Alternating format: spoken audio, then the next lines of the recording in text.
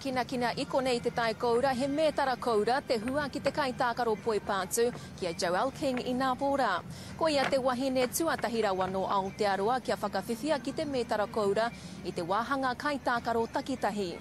I riro te tāhuna i a King i tana pakanga atu ki a Sarah Jane Perry nō Ingarangi, i puta toa mai a King i te wāhanga tuatahi, tuarua anō hoki o te kēmu, engari i wawe tā Perry hoki mai. Heoi, ko King tērā, te toa whakaihu waka, he tekau mā, he tekau mā tahi ki te waru te tatau i te wāhanga whakamutunga. Hei tāna, ko te tautoko nui o tōna whānau te kaikawe i a ia inā pō. Some of them I haven't seen for ten years since they've moved over here to the Gold Coast.